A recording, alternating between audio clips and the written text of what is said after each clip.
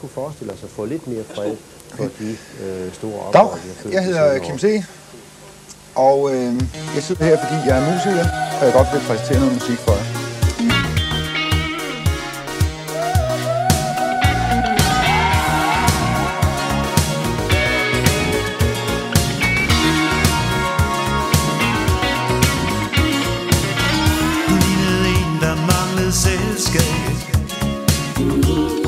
Du stod der for dig selv?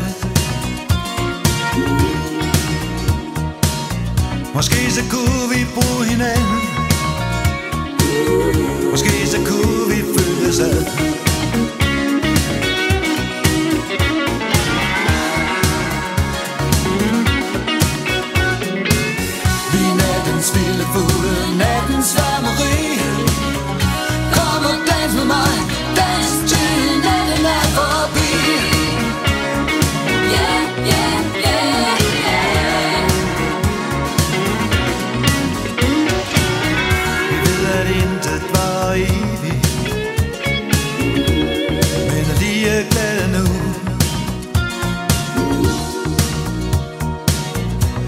der lever vi med håbet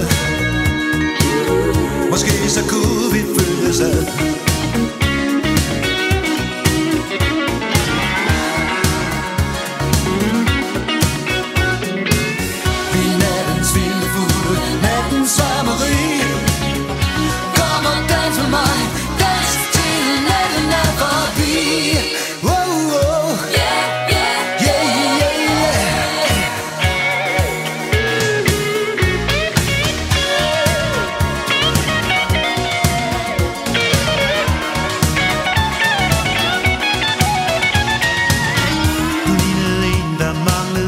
Manglede selskab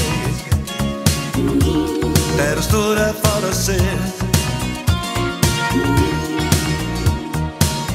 Måske så kunne vi bruge hinanden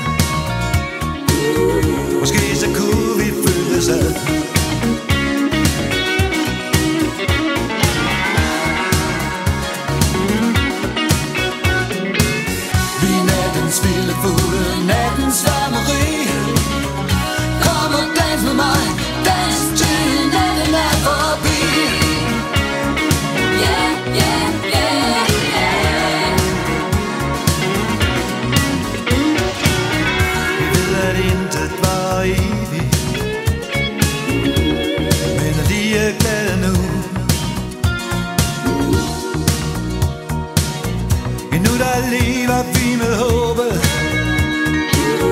Måske så kunne vi følges ad.